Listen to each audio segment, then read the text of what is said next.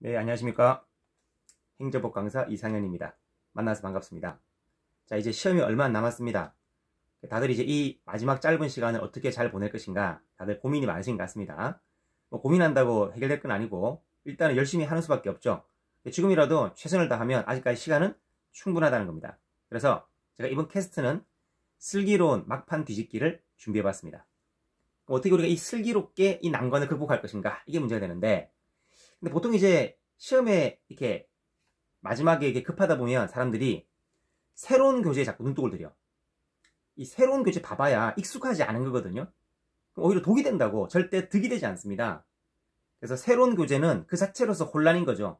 엄마야 이런 게 있네? 몰랐지? 어, 어 이거 뭐야? 아는 건데도 모르는 것처럼 느껴집니다. 새로운 교재이기 때문에. 그래서 수험생은 항상 막판에는 본인이 늘 보던 교재를 다시 한번 반복하는 수밖에 없습니다. 그래서 제가 1년 동안 지뢰깔기를 통해서 그 준비 작업을 해오라고 말씀드린 거죠. 그래서 1년 동안 발을 정자 서가면서 내가 모르는 문장이 어떤 건지 어떤 쟁점을 모르는 건지를 한 번 더 확실하게 짚고 넘어가시라 했습니다. 그죠? 그래서 지금쯤 막판 뒤집기 하는 것은 본인의 교재에서 가장 체크 많이 돼 있는 거 있죠? 그런 것들 하나씩 보시면 되는 거지. 그런데 만약에 아 어떡하나 지금까지 지리까지 한 게 없다. 뭐 이건 뭐 본인 탓인 거죠. 그렇다고 포기할 수는 없잖아. 그래서 막판 뒤집기 이건 뭐냐? 하나의 팁을 드린다면은 문제집에서 틀린 지문들 있죠. 틀린 지문만 보는 겁니다. 그리고 그 해설편에서 왜 틀렸는지 단어가 나와 있죠. 그런 거 하나라도 챙긴다면은 그나마 막판 뒤집기 할 가능성이 있다는 겁니다. 자, 그 다음 두 번째 뭐냐면 시험 시간이 얼마 없다 보니까 다들 마음이 급해. 그래서 스피디하게 많은 양을 보려고 한다고 전부 다 보려고 한다고 전부 다 봐집니까? 우리 뭐 장사 한두 번 합니까? 여러 번 해봤지만 전부 다 볼 수 없습니다. 지금 이 시간에는 전부를 다 보는 게 중요한 게 아니라 즉 100개의 쟁점을 어설프게 보는 것보다는 10개의 쟁점을 확실하게 보는 게 중요합니다. 제가 추천드리고 싶은 방법은 스피드하게 빨리빨리 보지 마시고 단 하나의 쟁점이라도 정확하게 보시라는 겁니다. 그게 더 필요한 겁니다. 특히 행정법 같은 경우는 비슷비슷한 판례가 많고 최신 판례가 많다 보니까 이거를 갑자기 쏟아져 버리면은 기존에 알고 있던 것도 다 혼란스러워 가지고 틀이 깨져 버립니다. 절대 그러지 마시라는 겁니다. 그래서 어지간하면 천천히 많은 걸 보려고 하지 마시고 작은 양이라도 정확하게 보시는 연습을 꼭 하시기 바랍니다. 그 다음에 이 근데 혼자서 전부 다 보기도 힘들고 시간은 많지 않고 보긴 해야 되겠는데 마음은 불안하고 이럴 때 가장 좋은 게 뭐냐면 그렇습니다. final 특강인 거죠. 이거는 본인의 의지와 상관없이 정리가 돼버립니다. 그냥. 그리고 final 특강의 가장 큰 장점이 뭐죠? 그렇죠. 길지 않다는 거지.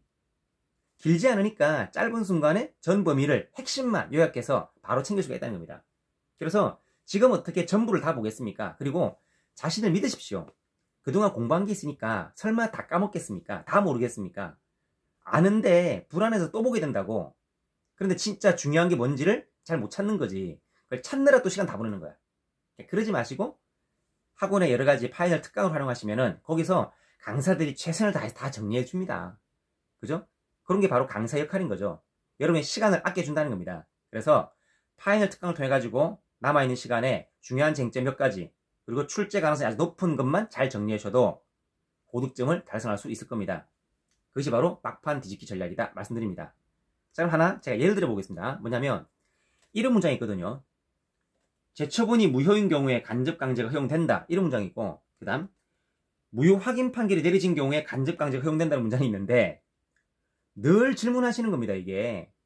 같은 문장 아니냐? 같은 문장 아니라니까요. 왜 같은 문장이 아닙니까? 자 첫 번째 뭐죠? 재처분이 무효인 경우에 간접 강제가 허용되느냐? 허용됩니다. 2번 무효 확인 판결이 내려진 경우에 간접 강제가 허용된다? 허용되지 않습니다. 그래서 정답이 반대라고 근데 무효란 말과 간접강제란 말이 있으니까 같은 문장으로 이해하시는 분이 많다니까요. 그렇기 때문에 여러분들은 이걸 보시라는 겁니다. 첫 번째. 자, 1번 문장은 뭘 묻냐면은 간접강제가 허용되는가? 문제 출구가 간접강제죠. 그럼 간접강제가 언제 됩니까? 하는 것은 간접강제, 그렇죠. 요건인 거지. 그래서 재처분 의무를 이행하지 않을 때 1심 수소부분에서 당사자 신청에 따라 손해배상을 명령하게 되는 거죠. 자, 그러니까 간접강제 요건으로서 재처분 의무를 불이행할 때입니다. 처분을 하지 않을 때. 근데 그 말은 말 그대로 처분을 하지 않을 때, 처분이 없을 때입니다. 처분이 없을 때 간접강제가 가능하죠. 그런데 문제는 처분을 했는데 처분이 무효인 거야. 재처분이 무효인 거야. 그때도 간접강제, 즉 손해배상 할 수 있습니까? 된다니까요, 이거는. 허용된다니까요. 자, 근데 이걸 착각하시는 것이, 어? 무효니까 당연한 거 아닌가? 왜? 무효는 처분이 없으니까. 아, 이건 정말 기본이 안 돼 있는 겁니다.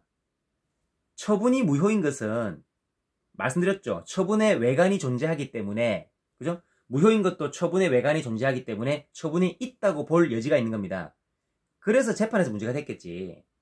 그럼 재처분했지만 무효인 것은 처분이 있다고 봐야 되느냐? 외관이 존재하니까. 아니면 없다고 봐야 되느냐? 무효니까. 이게 논란된 겁니다. 자, 그래서 결론은 뭡니까? 국민의 구제를 확대하기 위해서 간접 강제 범위를 확대하기 위해서 재처분을 했지만 그것이 무효인 경우도 포함을 하겠다는 겁니다. 특히 우리 시험에서 뭐로 나옵니까? 취소 판결 기속력에 위반한 처분도 이렇게 나오죠. 기속력 중에서 반복 금지호 위반하게 되면 취소가 아니라 무효가 되죠. 그래서 기속력에 위반하여 무효가 된 경우에도 간접 강제는 가능하다 이 말을 하는 겁니다. 그럼 이 문장은 무효도 된다 이런 결론이 나오는 거죠. 근데 헷갈리지 마시고 두 번째 문장은 무효가 허용된다. 이거는 무효가 아니라 무효 확인 판결이니까 무효 확인 소송을 제기한 겁니다. 이 소송에서는 재처분 의무는 인정되는데 불이행했을 때 간접 강제는 허용되지 않습니다. 그러면 허용된다 틀린 겁니다. 1번은 맞는 거지만 2번은 틀린 겁니다. 차이점 이해하시겠습니까? 이건 뭘 묻습니까? 그렇죠. 간접 강제가 어떤 소송에 적용되는가를 묻고 있는 거야. 어떤 소송에 적용되는가? 그것은 취소 소송일 때 적용됩니다. 무효등 확인 소송에 재처분 의무는 준용되지만 간접 강제는 준용되지 않는다. 그래서 판례가 유추 적용을 부정한다. 이렇게 배우셨죠? 그 이야기입니다, 지금. 간접 강제 적용 범위를 이야기하는 거라니까요. 그래서 취소 소송일 때는 간접 강제가 적용되지만 무효일 때는 적용되지 않는 겁니다. 무효 확인 소송에서는 간접 강제가 허용되지 않습니다. 심판과 다릅니다. 오해하지 마시고 소송입니다. 지금 소송. 자, 그래서 그 다음 1단계 취소 판결이 났을 때 간접 강제 제도가 적용되는데 그 다음 간접 강제가 인정되기 위해서는 처분이 없거나 처분이 무효이거나 이걸 포함한다는 거죠. 처분이 무효인 것도 포함이 된다는 거죠. 그러면 자 1단계에서 무효인 경우는 간접 강제가 안 되죠. 2단계에서 간접 강제를 하기 위해서 무효인 경우는 되죠. 무효인 게 안 되죠. 무효인 게 되죠. 이렇다니까요. 이 두 가지를 구별을 못 하시는 거라고. 그래서 간접 강제 적용 요건과 적용 범위를 구별하지 못하시면 그동안 공부한 것들이 다 와해가 돼가지고 흔들린다니까요. 그러니까 지금 이 순간은 빠르게 많은 것을 보려고 하지 마시고 작은 양이라도 철저하게 꼼꼼하게 보시라는 겁니다. 그게 오히려 더 시험에 도움이 되는 겁니다. 특히나 우리 객관식 시험이라는 것은 빨리 풀어야 되죠. 빨리 푸는 핵심이 뭡니까? 지식의 정확성이거든요. 지식이 정확해야만 1번 딱 틀렸다. 2번을 안 봐도 되지. 3번을 안 봐도 되지. 그럼 시간이 줄지 당연히.